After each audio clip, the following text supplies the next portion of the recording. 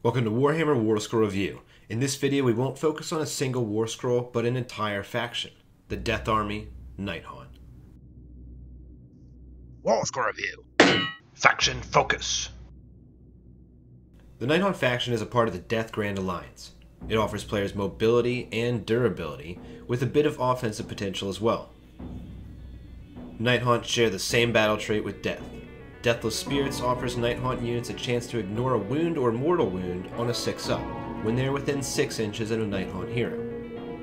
This is a decent ability, but don't go too far out of your way to ensure all the models are benefiting from it. If a unit is better off leaving the aura's reach to go grab an objective or to go fight a unit, then do it. Likewise, purchasing multiple characters to grant this aura is unnecessary. Getting one or two heroes to give Deathless Spirits to the main force is fine, but don't worry about covering the whole army. The second battle trait for Nighthaunt is called Ethereal Ruler. This is the main benefit to taking a Nighthaunt faction. When setting up a unit, the Death player can declare they are putting it in reserves off the table. In the following Nighthaunt movement phase, as long as there is a Wraith or Banshee on the table, the unit can deploy 9 inches away from the enemy on a roll of 3 up. This offers the player a lot of versatility. This can be used to deal damage, but is also about grabbing objectives and board control. Dropping almost 2,000 points on a shooting army can be extremely effective. Even putting one Cairn Wraith or a unit of Spirit Hosts in reserves to grab objectives can be worthwhile. In any case, don't bank too much on rolling that 3 up in a single turn. Waiting until last turn to drop can be beneficial, but relies too much on a single die roll.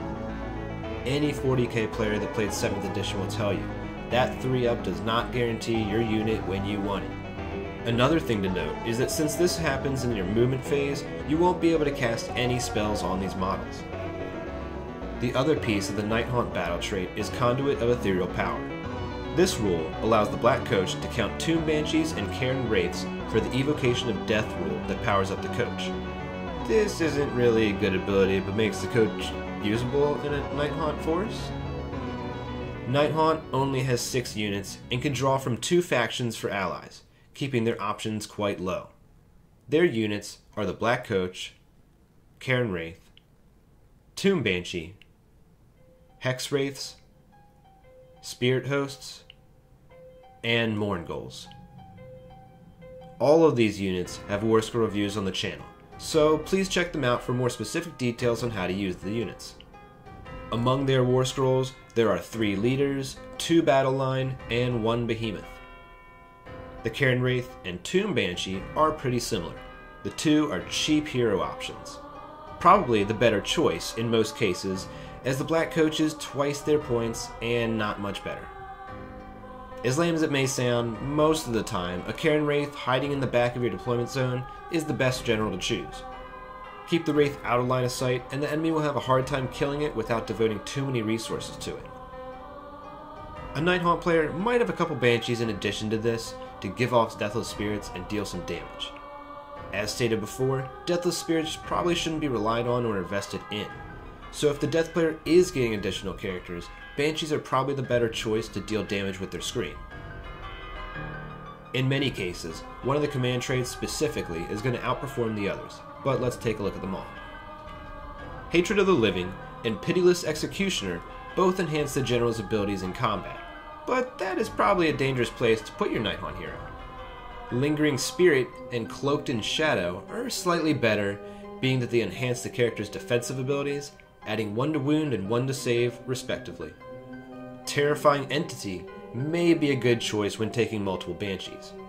This command trait would decrease bravery by 1 of enemy units within 6 inches. Not only is this bad for battle shock tests for the enemy, a few Banshee Hounds are bound to do some damage. If the Nighthaunt player is using the Ethereal Ruler's Allegiance ability, then Ruler of the Spirit Host is likely the best option. The trait allows the Nighthaunt player to re-roll the roll for Ethereal Rulers. This is why making the General a Wraith and hiding them in the back is a good option. The Nighthaunt player can easily start with nothing on the board but General Cairn Wraith. Remember, if there are no Banshees or Wraiths on the table, no reserves are deploying, so the units can be lost. Most Nighthaunt artifacts are also dominated by one or two of their peers. Cloak of the Waxing Moon, Dreadbolt Ring, and Covetous Familiar are all fairly boring. The Cloak makes the hero a bit more durable, and the other two deal a couple mortal wounds. Midnight Tome is a welcome addition in that it makes the bearer become a wizard. They can bind and unbind one spell and know Mystic Shield and Arcane Bolt. Without going into allies, this is the only way to use magic in a Nighthaunt force. Light Shard of the Harvest Moon is a fairly potent artifact. Once per game, it can be used to allow all Nighthaunt units within 6 inches to reroll to hit rolls in the combat phase. Paired with Spirit Hosts and Mournguls, this can potentially be a pretty powerful ability. The other artifact that outshines many of the others in many situations is the Pendant of the Fell Wind. This artifact adds 3 to the movement value of Nighthaunt units within 6 inches of the bear.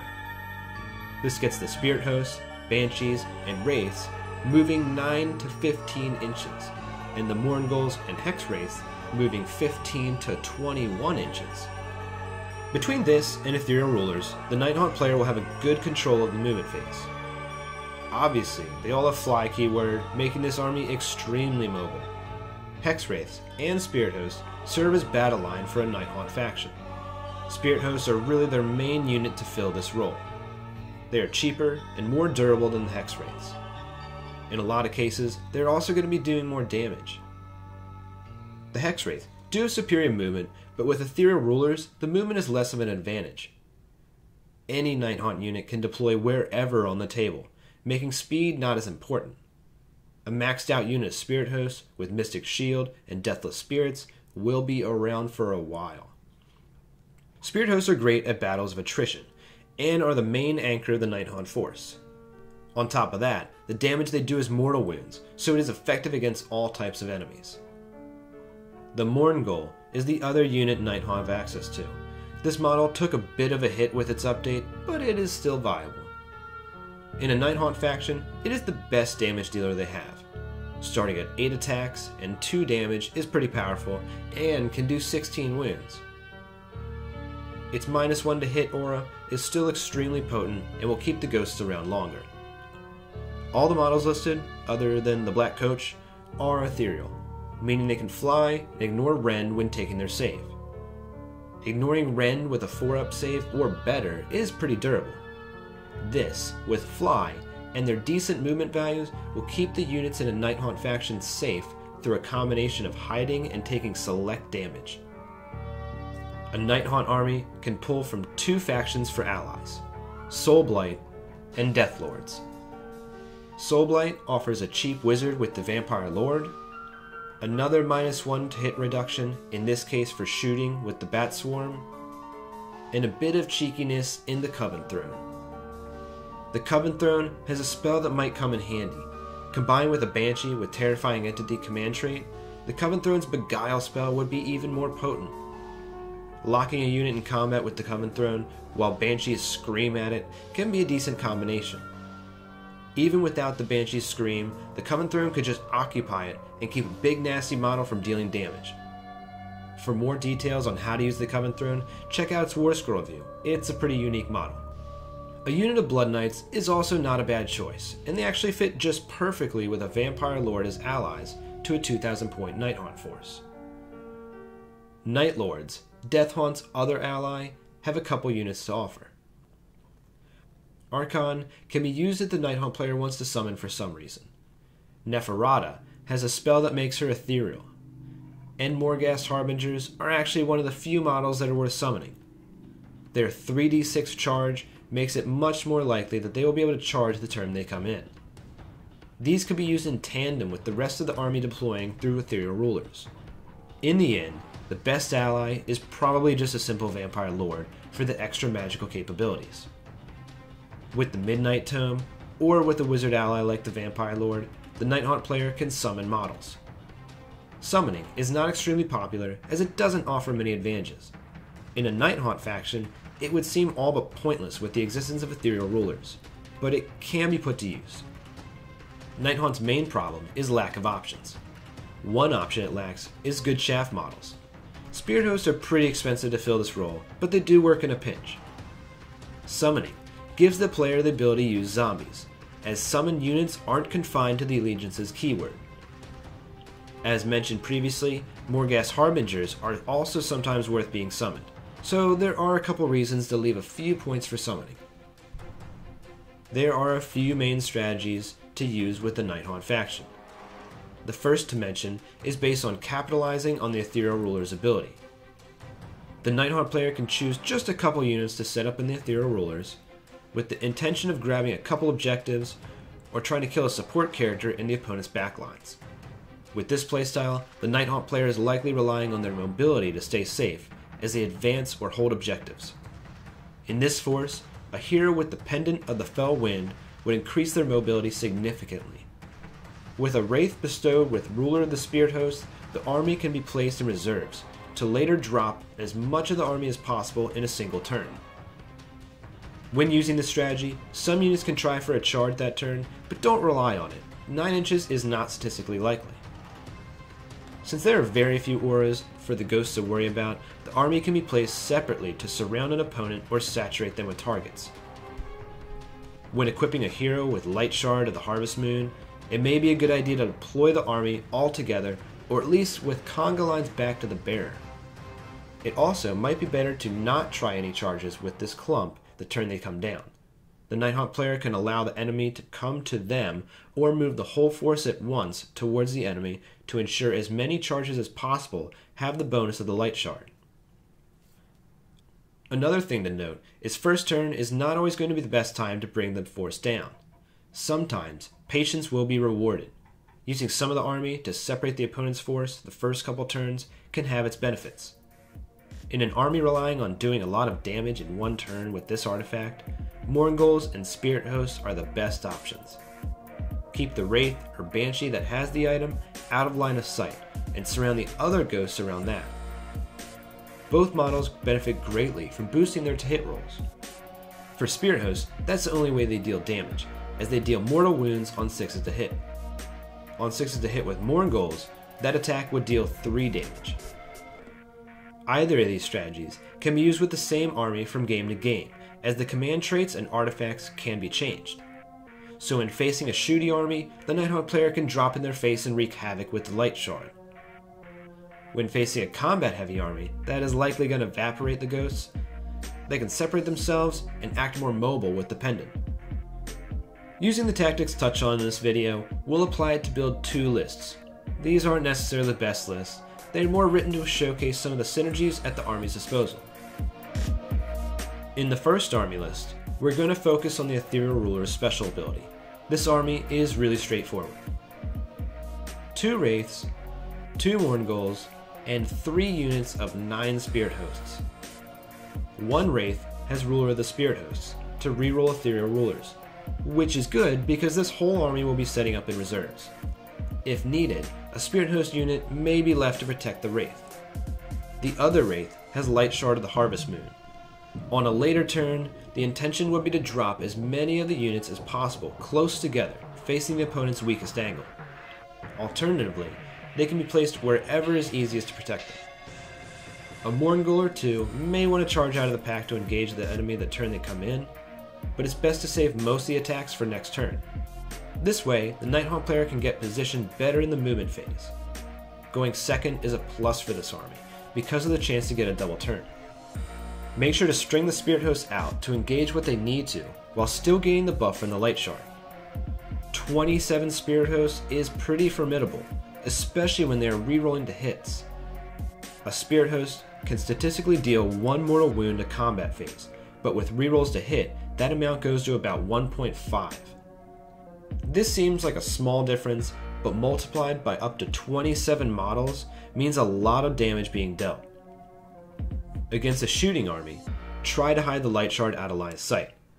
If it's hard to protect the Wraith for a turn to be able to trigger the light shard, it may be best to deploy the army in one turn, then deploy the Wraith with the light shard in the following turn to activate the aura. Against some armies, this tactic will have little effect. Armies that are spread out can leave the Nighthaunt force without any good targets. Some combat armies are also going to outdo the ghosts in combat and not worry about their initial drop. And then some armies are going to be just too durable for the main strike to do any damage.